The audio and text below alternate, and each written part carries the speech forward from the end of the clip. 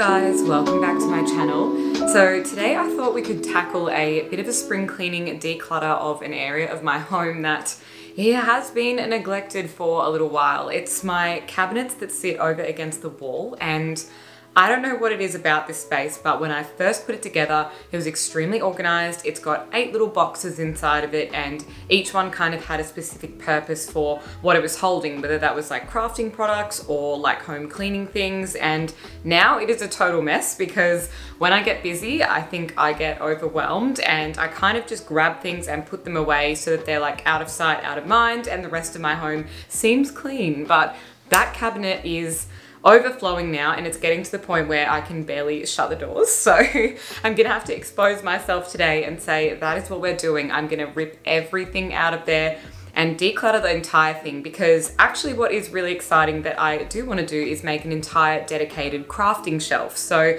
I did get something very exciting that I ordered the other day and it's gonna take up a little bit of room, so I wanna make sure that that has a special place where I can kind of pop it away and put all of like my materials and like, you know, the little cutting things and all of that sort of stuff in a particular area. So hope you guys really enjoy this and it gives you a little bit of motivation to declutter a couple of areas of your home, particularly if you do kind of have any hobbies or a side hustle or you're into kind of crafting and DIYs yourself, you will totally understand how messy that can get sometimes and how annoying it is when you really really do want to relax and sit down and do a project and you can't find the specific things because they are all over the place in different hidey holes. Now these are the two cabinets that I'm talking about and I ended up getting these from Kmart and kind of upcycling them in a previous video. So I'll leave that link down below if you're interested. But basically these were just there for extra storage because I am in a studio apartment which is quite small. So any extra storage I can get is an absolute blessing. So I had these stocked full of a bunch of different things. But like I said, you can pretty much see one of the doors is open on that one and there are boxes and things all underneath them as well. So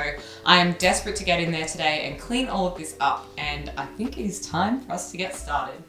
This is one small example of something that I want to pop onto the crafting shelf. So I've really been getting into doing clay and I got this one just off Amazon the other day. It was only like $10 for a kilo of white air drying clay. So I haven't actually tried this yet, but I thought it would be fun for a couple of cheap DIY projects. And if I like it, then I can buy some glaze and stuff and sort of make a few cute little things like a jewelry dish or some little vases and things like that. So that's one of the little items that, like I said, I have a couple of tools and things to go with it and I really just have nowhere to put this at the moment.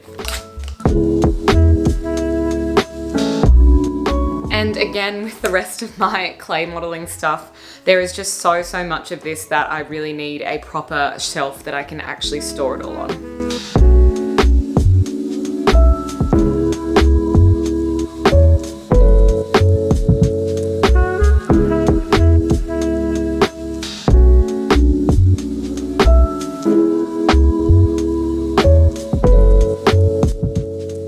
This is the shelf that I actually want to turn into my dedicated crafting shelf because I thought this would be the most handy since if I actually wanted to sit down and work in that kind of area and almost use it as like a little desk, I could easily just pull up a chair here and be able to sit in front of this cabinet while I kind of organize things. So that's going to be the easiest location. And then I think the two shelves below should be for all of the other kind of crafting supplies and things. So I'm going to take all of that out as well. And then we can go through all of the boxes that I've just put on the table and see what I can kind of either throw out, donate, or reorganize and store somewhere else.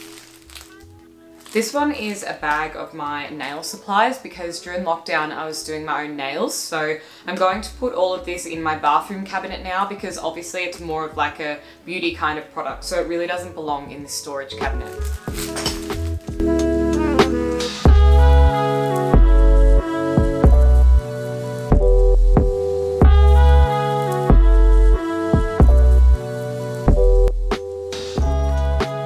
So if you have been around for a little while, you will know exactly what is in this box and there aren't actually many left of them, maybe about 40 in total. So I'll grab one out and I can show you, but basically these are my Moonliter sleep mask, which is a little brand that I started and it was kind of around the time that the whole pandemic hit. But basically I've never been an amazing sleeper and I wanted to create a sleep mask that had these really deep eye pads and it's all made from like squishy memory foam. So these were a little bit of a side hustle kind of project and it was prior to even having my YouTube channel. I was just sort of looking in some kind of creative idea that I could work on in my spare time and yeah, I have about 40 of them left now and then that will be it. They will be all gone. So I'll leave the link to them if you guys are interested, but these will stay in this box because they are kind of all part of a business thing and basically I've already got them sort of, pre-packaged up and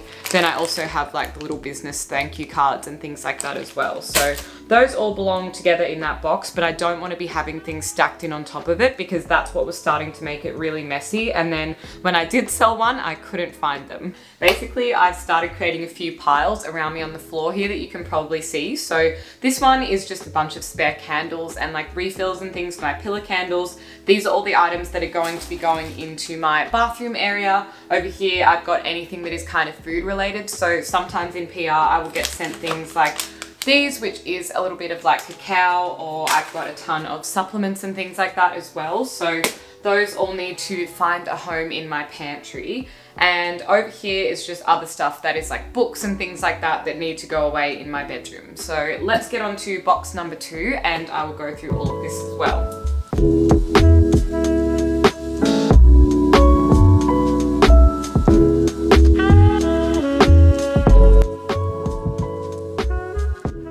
Is now an empty box and I don't know if anyone else does this or if I'm being silly doing this, but my dad always used to do it, so it kind of got me in the habit of like collecting boxes, but I've got boxes for some of my old tech things and it's mostly because they probably have an associated warranty or something or I don't know, I just kind of keep them in case I ever move house or something. So this is my podcasting microphone box. So I've got that one. I have my video microphone, which is sitting on the camera that you guys are on right now. And I've kind of got like the internet modem and things like that. So I don't really know if you need to keep these. Like I said, it's just kind of like a family habit thing that I got into, but I think I will just keep this as a little bit of a dedicated um, like business supplies sort of box of things that I've bought just in case I need the packaging. This box is a little bit of a game station because if any of you also were stuck in ISO, you would totally understand that you almost go crazy having nothing to do. So we did resort to some classic kind of games. So I have Uno, I've got a plain pack of playing cards. I have this kind of knockoff version of, um, oh my gosh, what's this called? Oh, Jenga. Sorry, that totally escaped my brain. So I've got that little set of Jenga. I have battleships and I also have Connect 4, which in my opinion is the OG of board games and my absolute favorite because I'm really good at it. So this little box is going to stay because I think it's always fun when you have a house party or something or it's Christmas time and you want to drag out a couple of games. But there is room in here for some other stuff, so I might just pop this one aside because I definitely think I can fill this box up a little bit more. Now, if you're Aussie, you will understand why I cannot bring myself to get rid of this. This is the quintessential TV show we used to watch after school every single day, and it's Round the Twist, so if you know the theme song, I'm sure it'll be in your head after seeing this, but I was obsessed with this show, so this is the complete box set series, and I just need to hang on to it. Box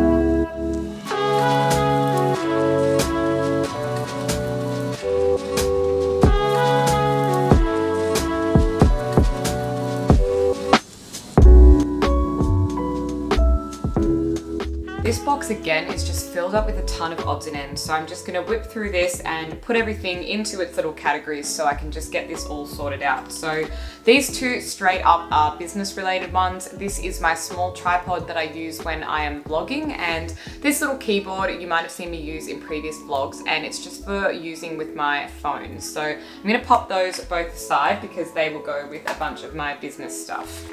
I'm making some good progress. This one is now an empty box, so I'm going to pop in all of the business kind of related stuff into this one. So I've got the tripod, I have a little Signet phone tripod, I've got my laser measurer, which I use for my architectural stuff when I'm on site measuring up buildings.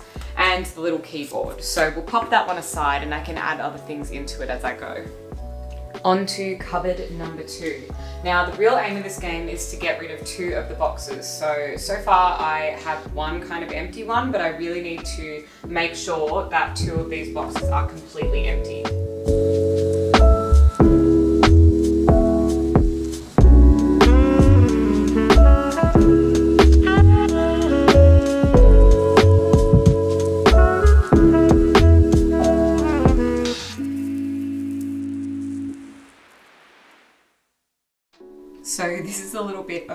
Messy aftermath, but these are all of the spare bags that I pulled out of that section and these are two full bags of just all sorts of trash and things that I'm going to take downstairs to the bin room and that felt very rewarding decluttering all of those because they are absolutely full to the brim. And now the most exciting part is I have this entire spare shelf free for my crafting things. Not sure if you can see little Momo's tail here, but he has just woken up from a nap and I have just finished doing all of that. So I'm not gonna lie, I am pretty exhausted. That was a really big task to take on for a Sunday, but I'm really, really glad that I got it done. It just feels so much calmer now that I know that entire space has been really, truly, thoroughly decluttered and all of the things that I didn't need have been thrown away or put in a little pile to donate and everything else has now found its proper home, whether that was in the pantry, in my bathroom or simply just like little gym things and bits and pieces that were hanging around. So